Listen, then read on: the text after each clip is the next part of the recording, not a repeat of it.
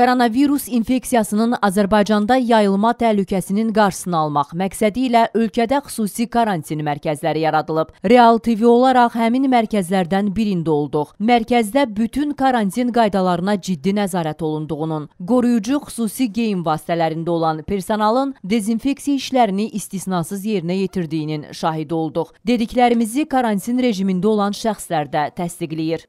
Sürücü İran İslam Respublikası beynəlxalq yük, yük daşımalarda işləyir. Biz İran İslam Respublikası çıxanda gömrük nəzarəti ilə gətiriblər bura təhvil veriblər. Bizi müayinə eləmək üçün gətirdilər bura. Burada da sağ olsunlar bizi yüksək dərəcədə qarşıladılar, müayinə elədilər və yüksək nəzarət altındayıq. Dövlət tərəfindən bizə bütün qayğılar burada göstərilir. Yaşama şəraitimiz, qidalanma şəraitimiz xanım çox gözəldir, çox yüksək dərəcə. Hərbiçilər hamısı bizlə mehriban.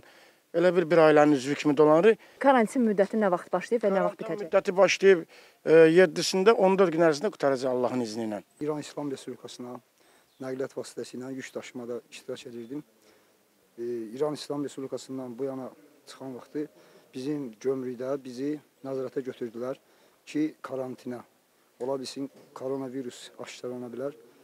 Gətiriblər, şükür Allah, hələ ki sakitçilikdir, salamatçılıqdır nə bilim, hər şey qaydasındadır. Gözəl, güclü personal qulluq, ciddi rejimdə, hər şey qaydasında.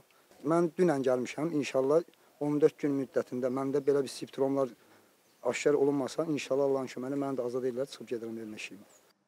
Mərkəzin ambarında və mətbəxində də çəkiliş apardıq. Müşahidə altında olan şəxslərin gündə 3 dəfə qidalanması üçün bütün lazımi ərzaq vasitələri var idi. Yəni ətdən tutmuş təbii şirəyədək. Mərkəzin nümayəndəsi Dövlət Sərhəd Xidmətinin polkovniki Aliyə Piriyeva da karantinə alınan şəxslərin bütün ehtiyaclarının ödəndiyini deyir. Hal-hazırda mərkəzdə 94 Azərbaycan Respublikasının vətəndaşı var və müvafiq olaraq tibbi personal onların temperaturlarını ölçürlər.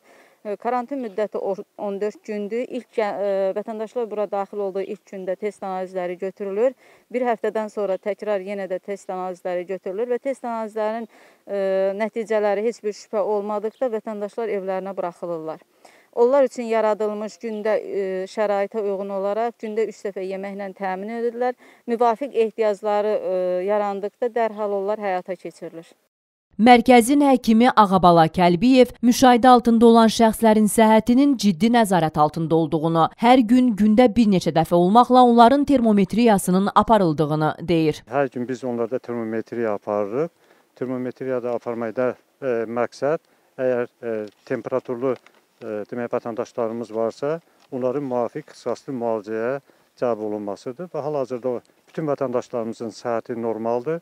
Demək olar ki, hal-hazırda bizdə 94 burada vətəndaşımız var, heç birində temperatur yoxdur və gündəlik olaraq onlar üzərində nəzarət aparılır. Ayın 1-dən etibarən demək olar ki, biz buradayıq və vətəndaşlarımız karantindadır.